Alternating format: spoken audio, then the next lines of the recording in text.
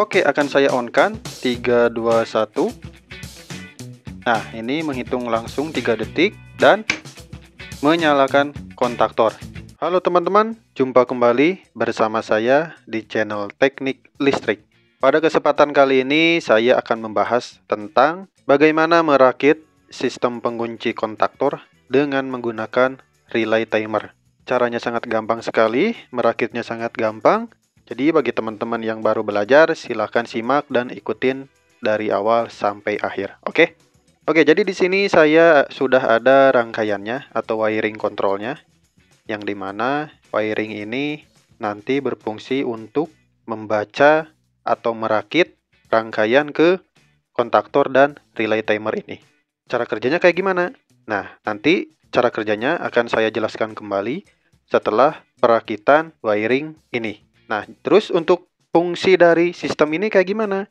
Jadi fungsi dari wiring ini yaitu agar supaya si relay timer ini menjadi awet atau tahan seumur hidup. Karena hanya untuk menjalankan kontaktor beberapa saat aja. Nah, di sinilah fungsinya untuk pengunci yang dari relay timer ini. Nah, itu secara singkatnya ya. Oke, saya akan langsung saja merakitnya bagaimana caranya. Jadi di sini saya menggunakan kontaktor yang 2NO2NC yang bermerek Ewig.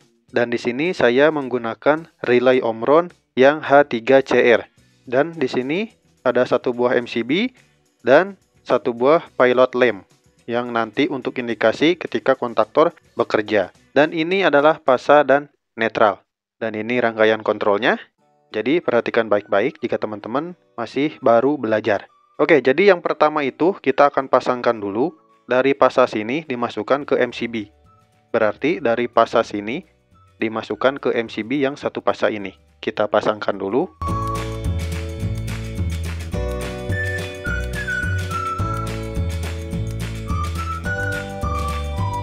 Oke, sudah saya pasangkan. Dari sumber pasa PLN dimasukkan langsung ke MCB.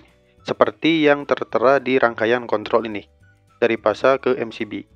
Selanjutnya, keluaran MCB dimasukkan ke NC kontaktor. Lihat, tersambungkan ini adalah NC kontaktor yang nomor 32. Ini bisa dibulak-balik mau 31 mau 32 silahkan. Nanti outnya yang penting kita tahu masuk ke relay timer. Yang NC di sini yang mana? Lihat teman-teman. Di sini ada dua buah NC, jadi bisa pakai dua-duanya ya. Terserah teman-teman mau di sini atau di sini.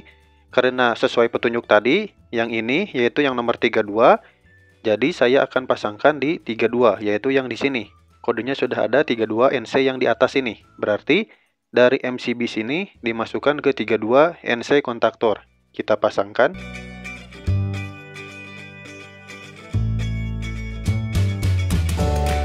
Oke, sudah saya pasangkan. Dari MCB dimasukkan ke NC kontaktor nomor 32 seperti yang tertera di wiring control ini, yaitu dari MCB dimasukkan ke nomor 32.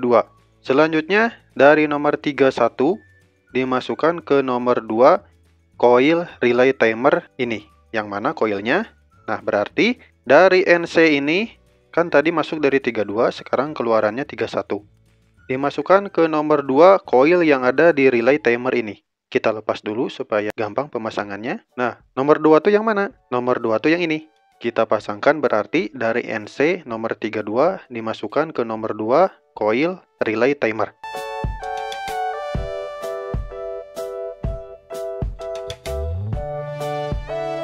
Oke, sudah saya pasangkan dari nomor 31 NC kontaktor dimasukkan ke nomor 2 coil relay timer TDR seperti yang tertera di wiring control. Dari nomor 31 dimasukkan ke nomor 2 yang relay timer atau coilnya. Selanjutnya pemasangan untuk netral. Netral itu dari 7 langsung ke netral. Untuk pemasangannya nanti saya akan gabungkan semua untuk netralnya ya. Jadi dipasang di akhir. Sekarang saya akan lanjut dulu. Berarti dari nomor 32 sini dimasukkan ke 1 32 itu yang mana? 32 itu yang ini. Ini adalah NC kontaktor.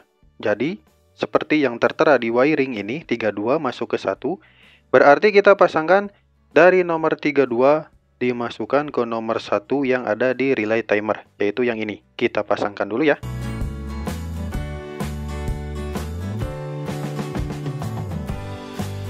Oke teman-teman, sudah saya pasang dari nomor 32 dimasukkan ke nomor 1 yang ada di relay timer. Selanjutnya dari nomor 3 kita lihat wiring lagi ya. Dari nomor 3 dimasukkan ke A1 kontaktor. Yang mana? Berarti yang tiga ini adalah ini. Relay timer ini dimasukkan ke A1 kontaktor yaitu yang ini. Kita pasang dulu.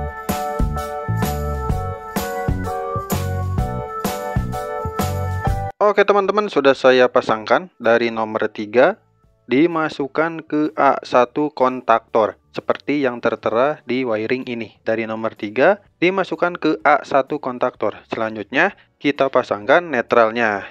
Netral tuh kayak gimana? Jadi netral tuh nanti digabungkan dari 7 dan A2 masuk ke netral PLN. Tapi nanti saya pasangnya, sekarang saya akan fokuskan dulu yang warna hitam-hitam ini, yaitu yang kabel pasa dulu. Selanjutnya saya akan pasangkan dari nomor 1 yang relay timer ini ke-13. Nah, ini adalah pengunci kontaktornya.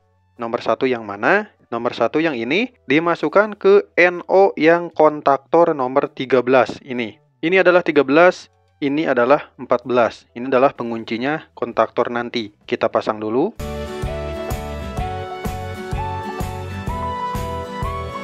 Oke teman-teman, sudah saya pasangkan dari nomor 1 dimasukkan ke NO kontaktor yang nomor 13 yaitu untuk mengunci si kontaktor nanti.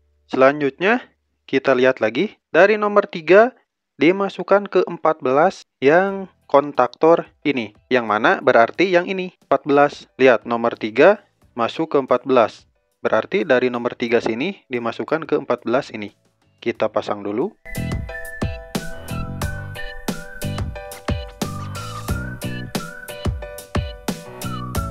Oke, sudah saya pasangkan dari nomor 3 dimasukkan ke NO kontaktor yang nomor 14 seperti yang ada di wiring sini 3 ke 14 selanjutnya saya akan pasang untuk netralnya. Dari mana? Berarti netral itu dari 7 ke netral PLN 7 yang mana? Yaitu 7 itu yang coil relay timer. Selanjutnya dari A2 sini ke netral PLN A2 yang mana? Yaitu yang ini. Dari sini ke netral PLN. Kita sambung-sambung aja jumperkan, oke? Kita pasang dulu.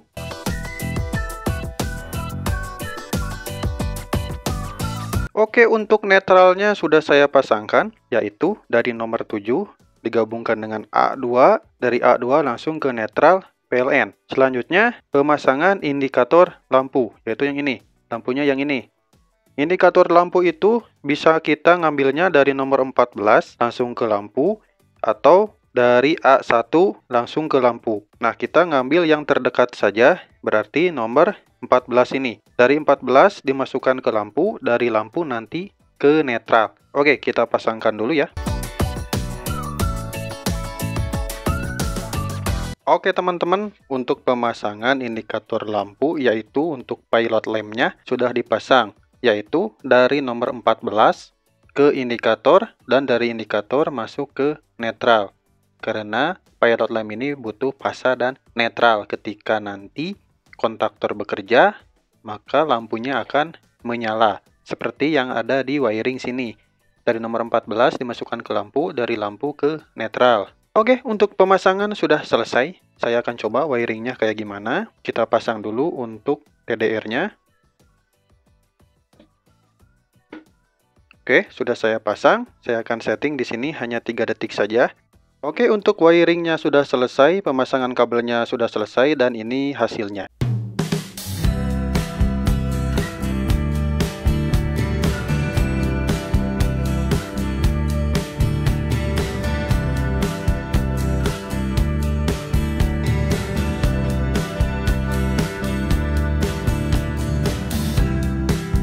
Jadi cara kerjanya itu ketika MCB ini di-on-kan, maka untuk relay timernya akan menunda waktu, tergantung sesuai yang kita setting. Tadi saya setting yaitu 3 detik saja. Setelah 3 detik, nanti untuk kontaktor ini akan kerja. Setelah kontaktor ini kerja, maka untuk relay timer ini akan mati. Jadi hanya untuk men-trigger si kontaktor ini saja. Dan untuk timer ini akan tahan lama karena hanya untuk men-trigger saja. Jangan sampai salah untuk pemasangannya, oke? Oke, sekarang saya akan coba untuk meng-on-kan MCB-nya. Apakah wiring ini berhasil? Oke, akan saya on-kan. 3, 2, 1. Nah, ini menghitung langsung 3 detik dan menyalakan kontaktor. Dan indikasi lampu pun menyala. Terus untuk relay timernya mati. Nah, jadi hanya untuk men-trigger si kontaktor ini saja. Kita off-kan lagi.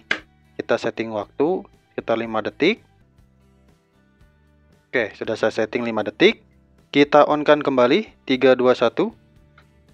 Nah, TDR langsung kerja. Menghitung waktu 5 detik. Dan langsung menyalakan kontaktor. Dan indikasi lampu menyala. Menandakan kontaktor tersebut lagi kerja dan otomatis untuk TDR-nya langsung mati atau padam. Jadi hanya untuk men-trigger saja si kontaktor ini. Oke, jadi hanya segitu ya untuk wiring kali ini. Mudah-mudahan bermanfaat. Jika teman-teman pengen belajar wiring kayak gini, tolong ikuti dari awal untuk tahapan-tahapan pemasangan kabelnya. Jangan sampai salah. Oke? Terima kasih, ditunggu untuk video saya yang selanjutnya.